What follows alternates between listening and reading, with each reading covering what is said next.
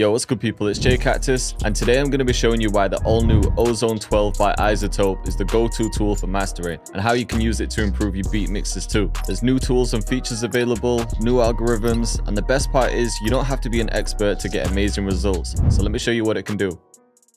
Alright, so if you're new to Ozone, it's an all-in-one suite designed to be a mastering tool that saves you so much time. It's been around for over 20 years and it's a staple in most studios. It's been a part of my process ever since I started making music, especially when I'm releasing official instrumentals or songs with artists. It uses AI to listen to your track and give you industry standard recommendations that you can tweak. You can see it covers every part of a mastering chain like EQ, compression, imaging, limiting, and so much more. And by the way, Ozone 12 Standard is now available in FL Cloud Pro, and you can get your first year for only $99. So we'll leave a link in the description. So to show you how it works, I have this beat that I've made and exported, and I only had soft clipper on the master, which is common for a lot of producers. It had basic mixing like leveling and EQ, but if I want to release this properly and get it on streaming platforms, I'd need to do some type of mastering. And Ozone 12 just makes it really simple to do yourself. So I brought the beat down to minus six just to give it some room. I've got Ozone 12 on the master, and you can see that you can start with presets, add in the tools you need, or you can use the assistant view. For a long time, it was just one click and it would listen to your track and then make adjustments. But now you can go into custom mode. And from here, I'm just going to set the genre. I've made a hood trap beat, so I'm going to go to trap.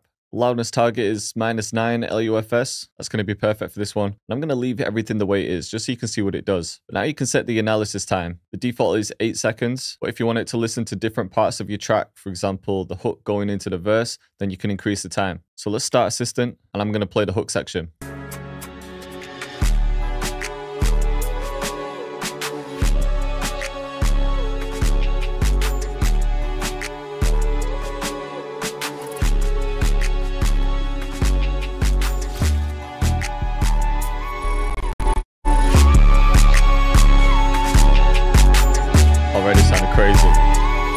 Instantly you can tell that it's made it a lot louder and that's because I brought it down minus six. So to get a more accurate comparison, I'm just gonna go to gain match and have a quick listen. So this is off. we'll turn it on.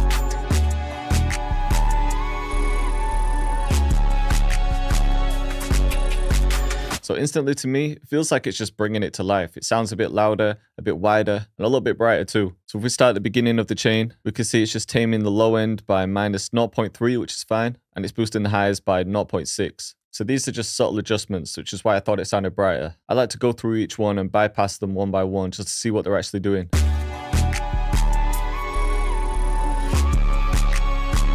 We turn it on now. Really subtle, but it's just bringing out that high end a tiny bit more. If we go to the imager, like I said, it felt like it was wider, and I like that this isn't doing too much. Nothing to the low end, just subtle adjustments to the low mids and high mids, but it's spreading the highs a bit more. So if we turn that off,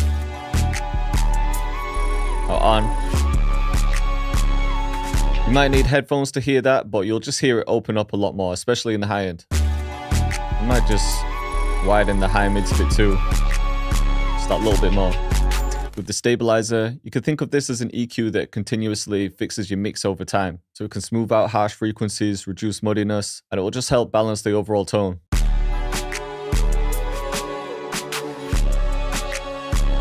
So again, really subtle, I can see it's just boosting up the highs slightly over time, and it's just taming some of those lows slightly too. The dynamic EQ, this is a little bit more surgical than the stabilizer. It's only going to kick in when these frequencies get a bit too loud. It looks like it's chosen some frequencies that might get a bit too harsh.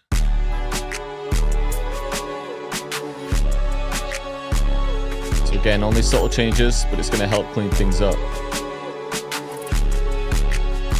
So I'm fine with that. Then next up, we have the maximizer, which will be the limiter. This is going to give you that commercial loudness without taking away the punch. The output's set at minus 0.1, so no part of your beat is going to go past that and clip, which is what you want for when you're releasing it. Then these are the different algorithms. IRC5 is the new one, but it's recommending IRC2 right now, but we can test them both. Let's try 5.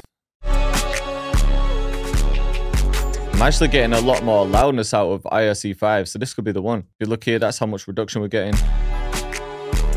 Go for a little bit more.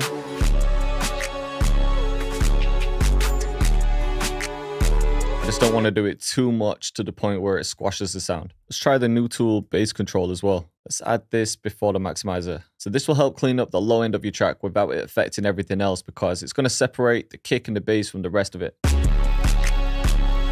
I'm just going to increase the punch a little bit. And I might bring the low end down. It's about like half a dB.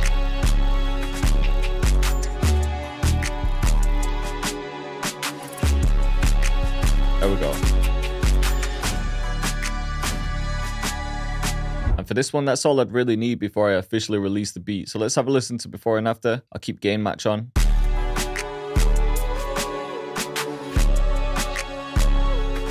Now on.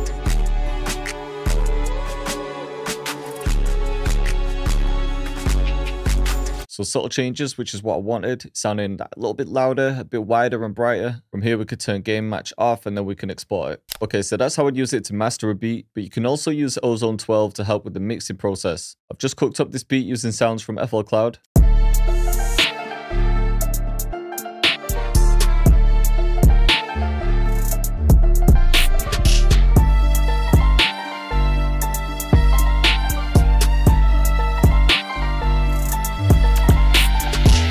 Liking the beat so far, but I want to show you how you can use Ozone to take it to another level. Let's start with the melody. And I've only got one layer here because it's looped from FL Cloud, but you could do this on a melody bus too. Right now, I've just got an EQ to take out some low end. Save room for the 808.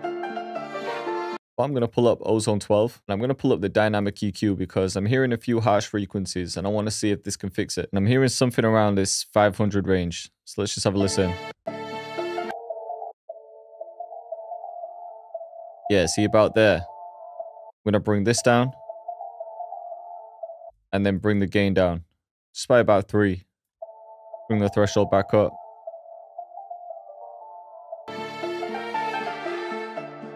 It's just going to help clean up that muddy area. That's off. On.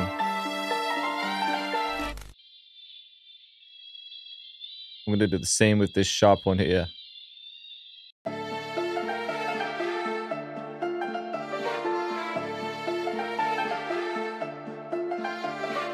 Could also pull up the stabilizer. I don't want it to affect the low end because I'm removing that anyway. Now we could just start to increase this.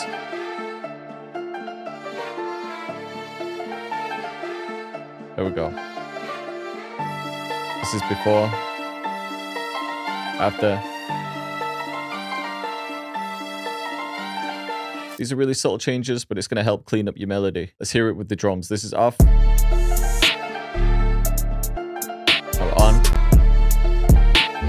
Removes a bit of that muddiness.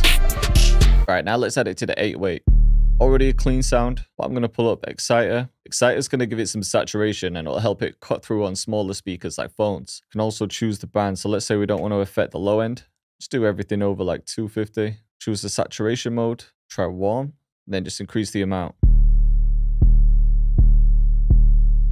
Let's try something more interesting. Let's go for retro. Yeah, with that one, you can hear a huge difference or bring it all the way up compared to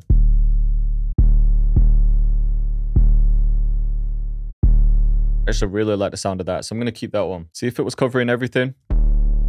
That might be doing too much. But that feels like a sweet spot. So this is before. Now after.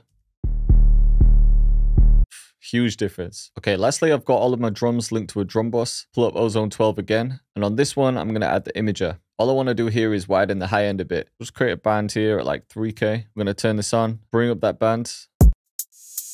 Just see where it sounds good.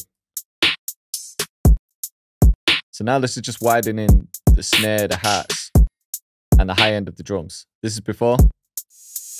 You can hear everything's down the middle, which is fine sometimes, but as a creative choice, turning this on. So now it's just going to widen the hats, snare a bit, just the top end of the drums. Let's hear it with everything else though. Might even bring this band down. Just to get more of the snare. Yes, I'm liking the sound of that. So here I've automated all of the ozones we added so you can hear the before and after.